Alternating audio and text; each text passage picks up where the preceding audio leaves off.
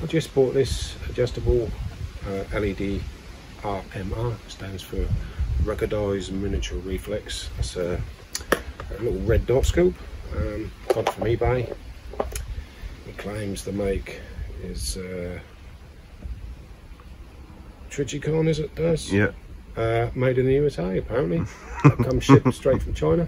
So less than 30 quid.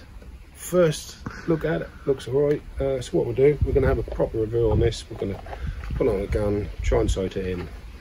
And we'll give you our opinion. So if you're interested in that, less than 30 quid red dot sight, keep watching.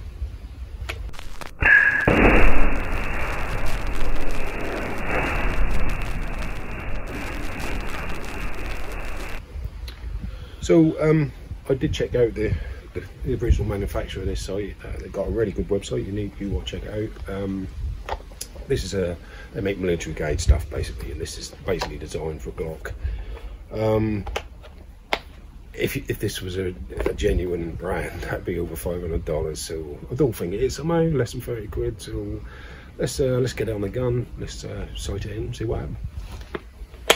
So First of all, I've got to pump up my uh, PP700W. That's a gun I normally use. Um, I've got an attachment I made that fits on there to take the weaver rail. Uh, so just um, you might as well just leave the camera rolling, Daz. We'll show people how these pump up if no one's seen it before. Mm. I'm not going to pump it all the way up because um, that, that, can be quite tricky. Twist dust, dust shoe open, plug that in, and tighten your release valve on the pump. And there we go. This is quite hard work. We've done videos on this before. Um, but I'm not going to pump it all the way up to max. Just enough to get this sighted in and check it out.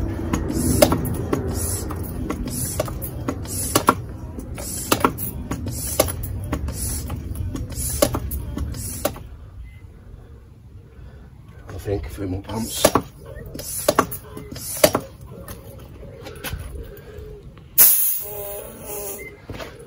layer off.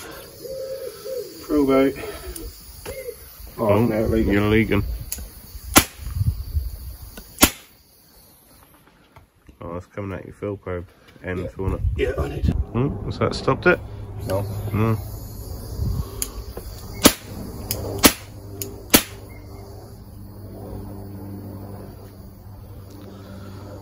Maintenance needed.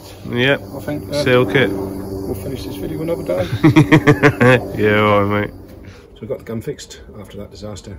Uh, literally took two minutes. I was going to make a video about how to do it. So um, quite simply, I unscrewed the end cap on here. Obviously make sure the gun is empty of air. Took that out. There's an O-ring on the bottom, so you've got to pull it a bit. Inside was a flathead screw. You undo that. Little tiny O-ring, change it, bit of silicone grease, back together. Put the other thing on with silicone grease. Done, fixed, pumped up, ready to rock and roll. So when I first, um, so first of all, I'll just show you, it's got a nice rubber dust cover, which seems to stick on a bit better than the other side I had. Uh, so I'll take it off and just show you how it looked actually set up and mounted.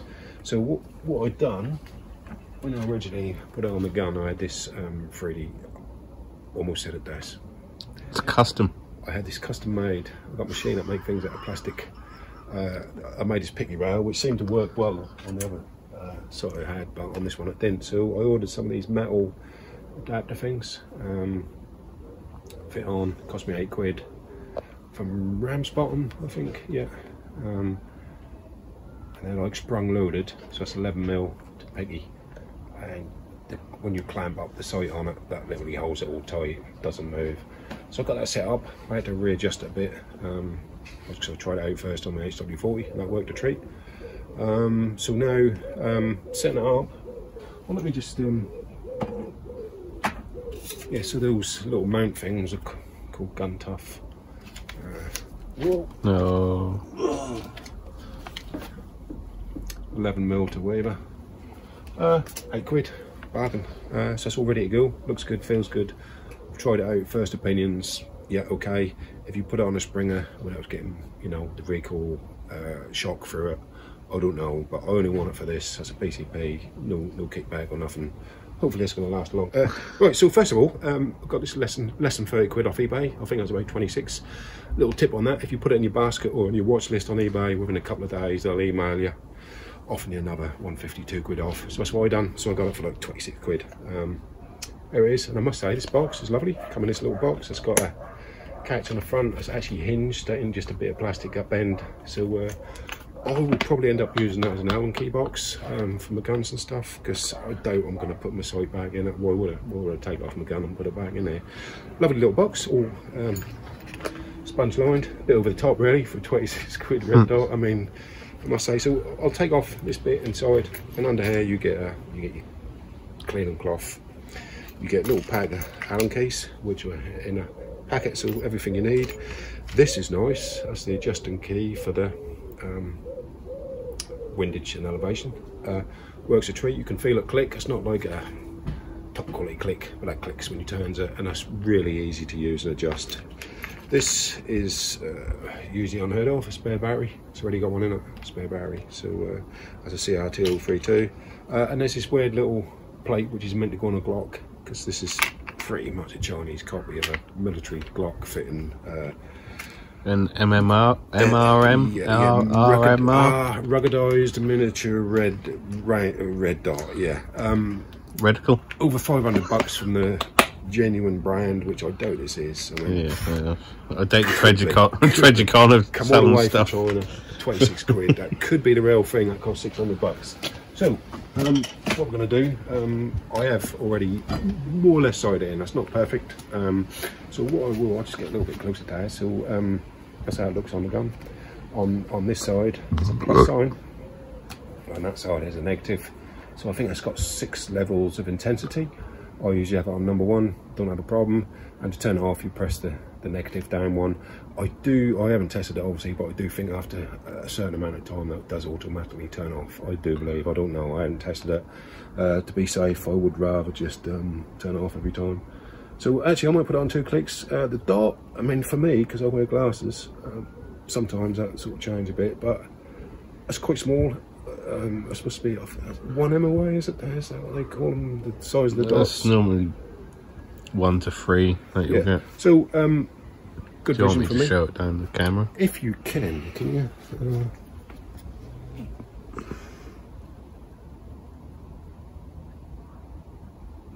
can you Yeah. Yeah. I was just putting on some brown. Yeah, nice. So you can see it. Yeah, that's good. But because sometimes yeah. the dots are like dirty, what I'd call dirty, but they've got rough edges. Like yeah, but that's normally um, because your eyes are too far away well, from it. A lot of it is my eyes, but sometimes I find with my red dot on mine, the the Hawke Vantage or whatever it is, um, the closer you get your eye to the actual sight, the crisper the dot gets, the yeah, smaller it gets. Yeah, this dot, dot is looking like crisp. I'm not glasses about on, I don't know. But that, that looked pretty crisp through the yeah, camera at arm crisp. length. So. so that was my only worry because I got a 10 quid red dot I bought and I, we, we done a review on that for 10 quid. Oh, that, that was, fine, but the dot on that was like yeah, size that, of a raspberry? That was like you've been finger painting. yeah, yeah. Done the job, you could hit a tin can with it, but um, you know, with this I've been hitting uh, the reset targets, getting them to reset. So um, this pull about five and a half foot pound. Um, before we end this video, well, I'll do it before we start actually. So what we'll do, these are RWS pellets. They're quite they're quite pricey. The Super Field Dome. Um, I thought they were quite a bit cheaper than. Yeah, I don't know, mate. What, what mine? Because uh, um, I normally shoot H and N's. Yeah, about sixty quid, uh, sixteen quid rather. sixty from, quid. Uh, fifteen point nine grain. So um, can we spin that down, Daz, to the ground so I can just show that? People like to see the old... Uh... Let me just zoom in on the... Oh. They got it? Try and... Yeah, don't move the... Ready? Yeah. Just 4.95, so um, just under 5 foot pound. Um, I don't know if my gun has leaked out today. I did only pump up early on, but I have had a few shots and all that. So, um, but I found the power go up when I get down a bit. Um, as you said there, self-regulating valve. Um, so what I'm going to do, I'm just going to put the other camera on for the range. We'll have that in the corner. I'll, I'll shoot at some stuff to show you that I'm hitting it. And um, yeah, hopefully you enjoy it. So I'm just going to go for the, uh, the can hanging on the uh, fishing rod think that went straight through because that moved. Um, This, this pistol's um, Yeah, that look like bottom left from where I am. So I'm going to go for the, the can on the far right on the bottom, hanging off the shelf. Yep. Um, I'm going to try the rat knockdown, which you can just see in the front of the camera, in the front there. I'm not resting on anything, so this is cookie tricky. Nope. Noticed you changed the old uh, silencer. Yes, because uh, I shot this with my granddaughter. She said that was really loud, and I was like, loud? She said, yeah, it's a high pitched noise. So um, let me just decock this so it's safe, Dad. I'll just lay that down for a second. Um, and Daz, as you get older, the high frequencies don't register so. Yeah. So to me, that just sounded a bit of a you That sounds like a slight whistle to me. granddaughter said that really whistled. So Daz pointed out that on the end of these silencers we normally use, um, they've got these little vent holes, which is what's causing the whistling. Um, these are excellent silencers, and Daz thought maybe if you block them up, because this is made for 2.2 LR um, with an air gun, that'd probably be okay to block them up. I don't know. Uh, so I started using um, The older version, wasn't it's old silence. That's basically just got an aluminium um, baffle inside there. Quite, um, I think that's louder, but Yeah. there's no high pitched whistle. Um, No, that's so- baffled. The other one is a, a core, Yeah. like a steel core with like a Kevlar rope wrapped around it, Yeah, so it can take high temperatures. yeah. So um, it's still fairly quiet, like I say. Um, uh, the other silencer. I mean, let's, do you want me to- let's just show you. I should have just done a quick pull on that. I'll, I'll replay what I've done there and um, sort of stick them together and get decibel reading. Yeah, I'm just uh, doing, making sure that's off camera, just Yeah. in case YouTube's watching. That's what I'll do. I'll just put a shot from this. Hopefully that wouldn't affect the accuracy or nothing. But hopefully the camera or the the audio picks Yeah, up the little yeah, whistle. Yeah, exactly. I'm just going to try for the rat target again. Uh, and with these red dots, that's also quite easy to shoot with both eyes open. Oh, I think I hit it. Did I? Oh, hit it. I did. I don't know. I can't see from here. I wasn't listening to the gun, man. I was concentrating Yeah. on shooting that thing. I'll see if I can do, hit the reset on it and hear the hear the sound. Try pushing it, uh, shooting the dirt so so we can hear the whistle. Because you're hearing the Yeah, contact. Right, here we go. Yeah, that slight. If you stand aside, Daz, I'll shoot it towards the camera with the mic. Stand just for safety reasons. I know there's nothing in it. So to me, I didn't really hear much of the hiss there, but yeah, when you hear it from Yeah. that end, but it's, um, is it much louder than the other one? Quieter than the other one? Do you think? Don't know. That's weird. This it's supposed to be a science test video. I know, The but show on the red site is working very good. Yeah. Um, I, I like it. I'm going to leave it on this gun. That'll be the. That'll be the what, what go with this gun basically. I might have to purchase some for other guns I own. Well, 26 quid, mate. Um, on a Springer, maybe. I don't know whether that would hold up. Um, if you're going to buy one, Daz, maybe we'll find out. I'm thinking more 1077. Yes. Yeah, I hit what I aimed for. So, did you want to pop at all, Daz? Have a quick go? Yeah, why not? Go on, mate. Try it out. Oh, lay it there. It's all safe. I will double check the other cameras of them.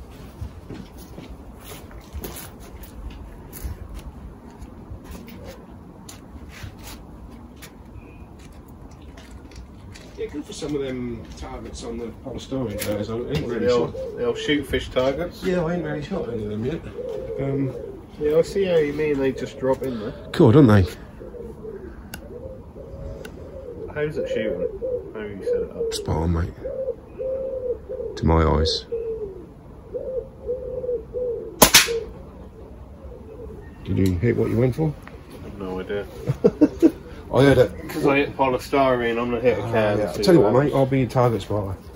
I hit the uh, right hand side one. I'll be your spotter, mate. I, I hit the far right one. Ah, so that's right. Yeah. Ooh. I uh, I had it, I'm used to mine. I had it too close to my face and clipped the sunglasses with a hammer. Well, was that? That's leaked out pretty quick. right.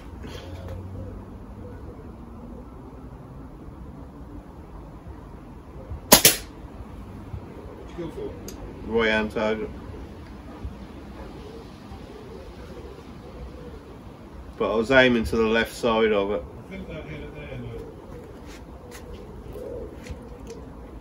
I think that hit it there, look. Try it before fires on.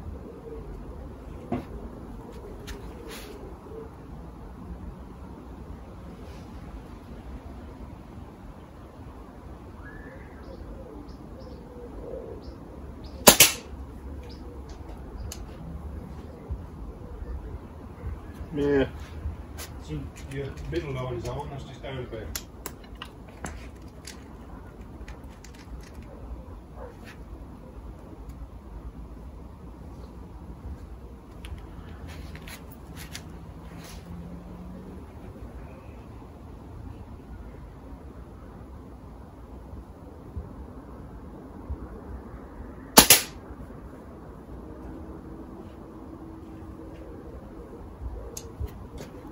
bit. Let me have a with you being the spot. Let me just take Have care. one more and then I'll um I'll have a go and you can do this one. I've got a little um monopoly thing here but I hate glasses again. No. Well, that sounded a lot quieter from here than it did down there. Well, I went for the can, not the polystyrene. Oh, That was- yeah.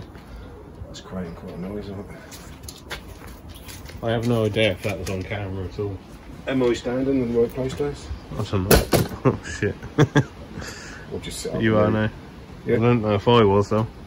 You were, because I checked it. You got beam a spotter? God, chip the glasses. Have you? Damn. But the Sharon's came in. I'll go for the middle one, yeah?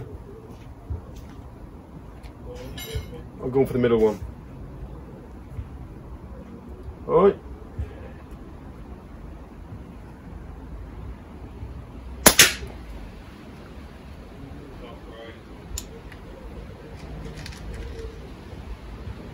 Okay.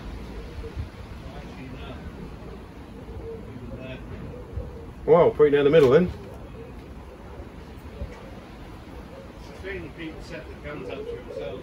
Yeah.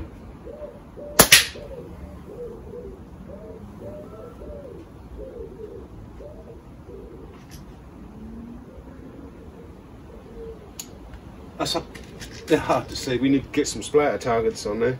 Yeah. If you got to do like axe bugs to see how, how it's really shooting, you need a bracelet. Well, I'm going to shoot a CO2 cartridge. Mate, if you can hit them how wide they are, pretty good, it? And I must say, this literally, a few minutes, just a few clicks here and there. Um, I must say, that's the easiest I've set up. So, there we have it. Um,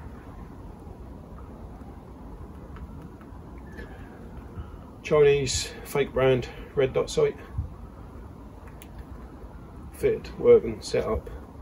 That's on there rugged. You will have to, if you ain't got a weaver rail, you'd have to get a um, 20 mil in it, then weaver rail 20 mil, Yeah. 11 mil dovetail. I can highly recommend Ramsbottom where I got these. You can get them a couple of quid cheap, I think. I bet you can highly recommend Ram's bottom. Rams bottom, jazz, jazz Rams Yeah. someone. Anyway, I bought stuff from them before and they're pretty good. I think I got the chrony from them. Uh, so there we have it. I'm happy with it. I think that looked good. That feel good. I like the sideways. I, think, I mean, they had these other ones with a switch on the end there, which is what I had before, and that went wrong straight away. Not straight away, but like I don't know, messed up. As you can see, them adjustable um, screws on there. Really cool. Um, that key fitting them nice. Um, all this Allen key malarkey. Anyway, there we have it. Hope you found it interesting. Highly recommend it. Less than 30 quid. Thanks for watching.